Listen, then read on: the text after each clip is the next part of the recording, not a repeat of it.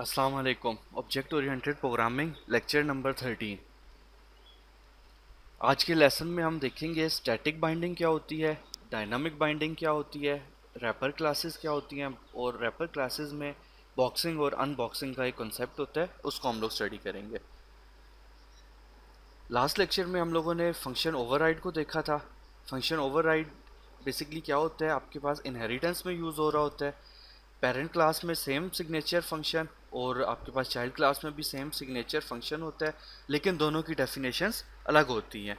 तो उस फ़ंक्शन को आप क्या कहते हो? फ़ंक्शन ओवरराइड कहते हो।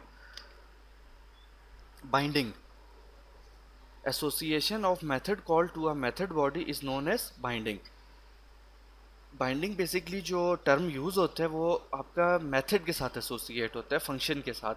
जब आप फ़ंक्शन कॉल कर रहे होते हो तो कौन से वाला फ़ंक्शन कॉल होगा? मतलब आपने फ़ंक्शन ओवरराइड फॉर एग्जांपल किया हुआ है तो उनमें से कौन सा फ़ंक्शन कॉल होगा, उसको आप कहते हो बाइंडिंग दो टाइप्स की बाइंडिंग है आपके पास, एक स्टैटिक बाइंडिंग होती है और एक डायनामिक बाइंडिंग स्टैटिक बाइंडिंग वो बाइंडिंग होती है जो कंपाइल टाइम पे डिसाइड हो जाती है कि जब भी ये फ़ंक्शन कॉल होगा तो कौन से वाला फ़ंक्शन कॉल होना है.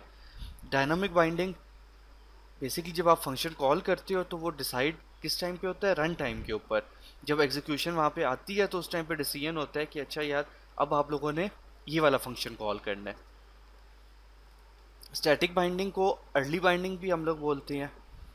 जैसा कि हमने पहले बताया कि the binding which can be resolve at compile time by the compiler is known as static और अर्ली बाइंडिंग कि कंपाइल टाइम पे अगर आप डिसाइड हो जाते हैं कंपाइलर से कि आपने जब ये फ़ंक्शन कॉल होगा तो कौन से वाला फ़ंक्शन कॉल होगा?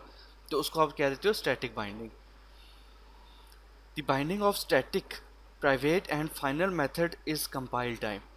आपके पास स्टैटिक प्राइवेट या फाइनल मेथड्स अगर होंगे तो वो कंपाइल टाइम के ऊपर होते हैं मतलब वो स्टैटिक बाइंडिंग होती है आपकी। क्यों? ऐसा क्यों हो सकता है?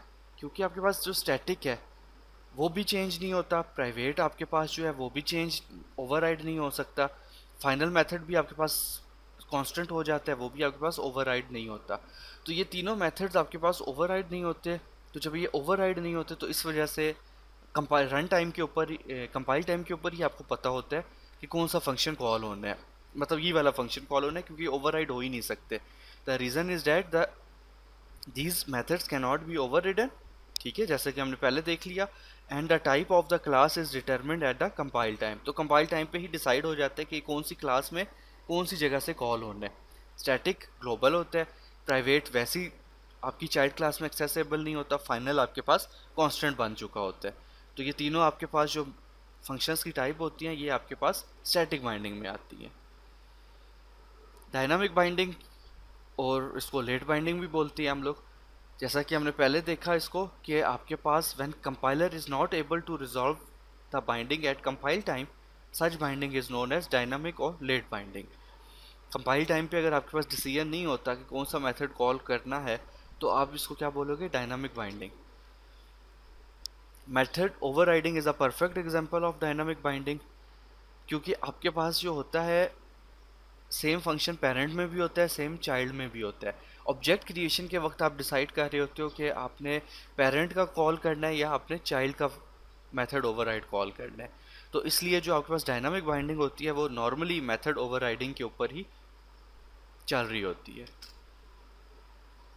स्टैटिक और डायनामिक बाइंडिंग में हम थोड़ा सा डिफरेंसेस देख लेते हैं। Static binding happens at compile time while dynamic binding happens at run time ये हम पहले देख चुके हैं। Binding of private static and final method always happen to compile time ठीक है? और since this method can not be overridden the method override is actually happen तो आपको क्या पता है इससे कि आपके पास ये आ जाती है dynamic binding the binding of overload method static overload ठीक है ना? ओवरलोड आपके पास एक ही क्लास के अंदर मेथड्स होती हैं। वो स्टैटिक होती हैं और ओवर रिडन मैथड जो होते हैं वो आपके पास डायनामिक होती हैं। जावा रैपर क्लासेस जो हमारा नेक्स्ट टॉपिक है वो है जावा रैपर क्लासेस वो हम देख लेते हैं। Wrapper classes provide a way to use primitive data types as objects primitive data types कौन सी होती हैं? इंट हो गया बुलियन हो गई करेक्टर हो गया आपके पास। ये जो बिल्ट इन कुछ डाटा टाइप्स हैं, ये आपके पास प्रिमेटिव होती हैं डाटा टाइप्स रैपर क्लासेस आपको क्या कहता है कि अगर आपने इन डाटा टाइप्स को इंट हो गया बूल हो गया करेक्टर हो गया ऑब्जेक्ट के तौर पे यूज़ करना है तो आपको एक तरीका देता है रेपर क्लासेस ऑब्जेक्ट्स बेसिकली क्या होंगे? आपके पास ऑब्जेक्ट्स जो होती हैं, आपके पास वो रेफरेंस टाइप होती हैं जबकि सिंपल प्रिमेटिव जो हैं वो ये रेफरेंस वैल्यू टाइप होती हैं आपके पास तो बहुत सारे केसेस में हमें ऑब्जेक्ट्स चाहिए होती हैं, ना कि हमें non reference variable primitive data type चाहिए होती हैं तो इसलिए हम रेपर क्लासेस को यूज़ करते हैं रेपर क्लासेस जो हैं जावा डॉट यूटिल पैकेज के अंदर आ रहे होती हैं Why we need wrapper classes? Wrapper class will convert primitive data types into object. ये हमने पहले बात कर ली। The objects are necessary if we wish to modify the arguments passed into the method जैसा कि आपको पता है कि आप अगर सिंपल इंटीजर करेक्टर वगैरह पास करते हो तो फ़ंक्शन में तो पास बाय वैल्यू होता है। लेकिन अगर आप पास बाय रेफरेंस को यूज़ करना चाहो तो आपको ऑब्जेक्ट में इनको कन्वर्ट करना पड़ता है। The classes in java.util package handles only objects and hence wrapper classes help in the case also. आपके पास जावा डॉट यूटिल पैकेज जो है, वो सिर्फ़ ऑब्जेक्ट्स को हैंडल करता है। अभी हम कुछ एग्जांपल्स नेक्स्ट लेक्चर्स में देखेंगे जावा डॉट यूटिल के अंदर आएँगी। तो वो सिर्फ़ और सिर्फ़ अपने जो पैरामीटर से पास कर सकते हो, वो ऑब्जेक्ट्स होती हैं। तो वहाँ पे आपको रेपर क्लासेस यूज़ होती हैं हेल्प कर रही होती हैं। इसी तरह data structures like array list vectors ये सारे जो आपके पास आगे हम लेक्चर्स में यूज़ करेंगे, इनमें भी आपको जो पास करना पड़ेगा, वो क्या होगा? रेफरेंस टाइप मीन्स कि ऑब्जेक्ट्स पास करने पड़ेंगे, ना कि प्रिमिटिव डाटा टाइप्स इसी तरह हम कुछ आगे लेक्चर्स में मल्टी थ्रेडिंग को स्टार्ट करेंगे तो मल्टी थ्रेडिंग में अगर आपने सिंक करना है डाटा को तो वो भी ऑब्जेक्ट के थ्रू हो सकता है, ना कि प्रिमिटिव डाटा टाइप्स के ज़रिए. तो इस वजह से इसकी काफ़ी ज़रूरत पड़ती है हमें आगे जब हम लोग ये डिटेल में काम, या हाई लेवल के ऊपर काम कर रहे होते हैं. आपको एक टेबल नीचे गिवन है एक प्रिमिटिव डाटा टाइप अगर आपने यूज़ करनी होती है तो आप int for example I N T लिखते हो। जबकि अगर आपने इसको as a wrapper class use करना है एज अ ऑब्जेक्ट यूज़ करना है तो आप इसको कंप्लीट इंटीजर लिखोगे और आई कैपिटल होगा। अगर मैं करेक्टर की बात करूँ तो सेम केस है character C H A R हम लिखते हैं, हम प्रिमिटिव डाटा टाइप्स में। अगर हम इसको रैपर क्लास में कन्वर्ट करेंगे तो हम करेक्टर और सी कैपिटल लिखेंगे। तो ये आपके पास पूरा टेबल गिवन है कि सिंपल जो प्रिमिटिव डाटा टाइप्स हैं, वो किस तरह रैपर क्लास से इक्विलेंट हो रही हैं कोडिंग के दौरान। एक बॉक्सिंग का कॉन्सेप्ट आता है और एक अनबॉक्सिंग का। Boxing is use to convert primitive data types into correspondent corresponding objects boxing का कॉन्सेप्ट ये होता है कि आपने जो प्रिमिटिव डाटा टाइप है लाइक इंटीजर है, उसको आपने कन्वर्ट करना है किसमें? उसके ऑब्जेक्ट के अंदर। मतलब कि वो अब एज अ ऑब्जेक्ट कंसीडर हो, ना कि प्रिमिटिव डाटा टाइप कंसिडर हो। तो आपको पता है इंट जो है सिंपल इंट अगर आप बनाएँगे तो उसको कन्वर्ट करना पड़ेगा आपको कैपिटल आई और पूरा इंटीजर इसमें, ठीक है? तो अगर हम यहाँ पे देखें तो यहाँ पे मैंने क्लास बनाई public class auto box test के नाम से। इसमें मेन फ़ंक्शन था। हमने बनाया int num equals to ten ये तो प्रिमिटिव डाटा टाइप हो गई।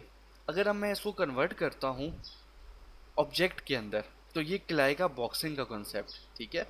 तो मैंने लिखा यहाँ पे कैपिटल आई से इंटीजर पूरा इंटीजर ओबीजे नाम दे दिया इक्वल्स टू आगे मैंने बोला integer dot value of num num जो है वो प्रिमेटिव डाटा टाइप थी। मैंने उसे बोला कि नम की जो है वो वैल्यू उठाए इंटीजर फॉर्म में, क्योंकि वो इंटीजर है और इसको कन्वर्ट कर दे किसके अंदर? रैपर क्लास इंटीजर के अंदर। तो ये कॉन्सेप्ट जो होता है आपका, ये जो हाईलाइटेड है, इसको आप क्या बोल देते हो? ये आपके पास डाटा आ चुके ऑब्जेक्ट फॉर्म के अंदर रैपर क्लास में। क्योंकि यहाँ पे अब ओबीजे जो है वो कैपिटल आई इंटीजर से बना हुआ है। तो दोनों में वैल्यू सेम पड़ी हुई होगी, लेकिन एक ऑब्जेक्ट होगा, एक रेफरेंस टाइप होगा। इसी तरह अनबॉक्सिंग जो है अनबॉक्सिंग बेसिकली क्या होती है? Unboxing is used to convert the wrapper class object into corresponding primitive data type अब आपके पास क्या होगा कि आपने एक रैपर क्लास ऑब्जेक्ट बनाया हुआ है। आप उसको कन्वर्ट करना चाहते हो प्रिमिटिव डाटा टाइप के अंदर रेफरेंस टाइप के अंदर। तो आप अगर ये प्रोसेस करोगे तो इसका मतलब है बॉक्सिंग अनबॉक्सिंग तो यहाँ पे हम लोगों ने क्या किया? एक क्लास बनाई मेन फ़ंक्शन और यहाँ पे हमने एक फ़ंक्शन बनाया एक वेरिएबल बनाया integer O B J equals to new integer ten इसलिए टेन हमने स्टोर करवा दिया। अगर आप यहाँ पे गौर करो तो ये ओ बी जे जो है, ये रेपर क्लास ऑब्जेक्ट है, ठीक है? इसके बाद हमने क्या किया? इंट नम आम वेरिएबल बनाया, जो आपका प्रिमेटिव डाटा टाइप होता है। और हमने क्या बोला? इक्वल्स टू ओबीजे वो जो ऊपर हमने ऑब्जेक्ट बनाया रेपर क्लास का डॉट इंट वैल्यू कि इस ओपीजी के अंदर जो इंट टीचर वैल्यू पड़ी हुई है, वो कहाँ पे कन्वर्ट कर दे? सिंपल रेफरेंस टाइप के अंदर इंट नम के अंदर। तो अगेन अब इन दोनों में वैल्यू सेम होंगी, लेकिन नम जो है वो रेफरेंस टाइप होगा ओ जो है, वो आपका रेपर क्लास ऑब्जेक्ट होगा। तो ये आपके पास बॉक्सिंग का कॉन्सेप्ट होता है। तो आपको यहाँ तक समझ आ गई बॉक्सिंग और अनबॉक्सिंग ये आपके पास कॉन्सेप्ट होते हैं रेपर क्लासेस के अंदर। बाकी हम इसको डिटेल में आगे जब हम पढ़ेंगे एरे लिस्ट वगैरह तो उसमें हम इसको डिटेल में देखेंगे कि आपको कहाँ कहाँ पे ये ज़रूरत पड़ते हैं। Thank you.